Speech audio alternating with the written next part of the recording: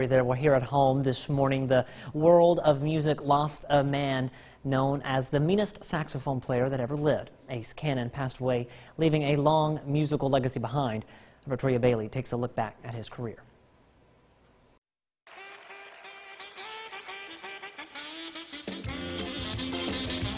Iconic saxophone player Ace Cannon played his way into the hearts of all music lovers across the world.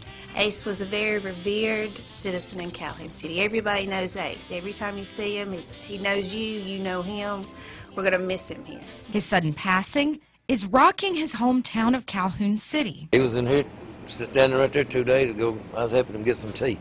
Right. And today I woke up and he said he passed. So it was sort of a shock. Ace started his music career in the 1950s and had been playing ever since, landing in the International Rockabilly Hall of Fame, Memphis Music Hall of Fame, and Mississippi Musicians Hall of Fame.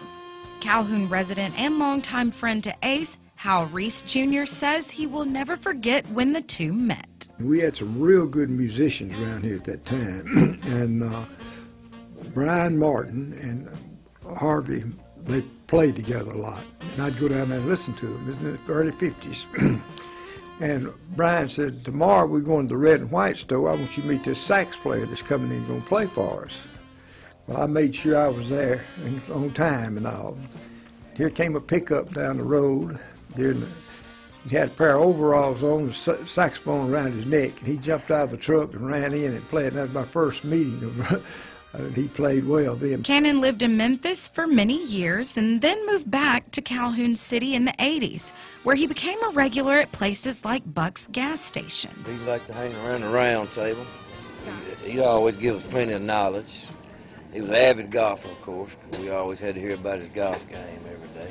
People who enjoyed Ace's friendship as well as his music say he will truly be missed. I, I can't think of nobody offhand didn't like him he, uh, if you asked him to do anything for you, he would. Everybody loved Ace, and he loved Calhoun City. So I did get to see him every month and have a good conversation with him every month, and, and I'll miss those conversations. He's just a legend around here. Always has been. He always will be. Victoria Bailey, WCBI News, Calhoun City. Funeral arrangements are underway. Ace was 84 years old.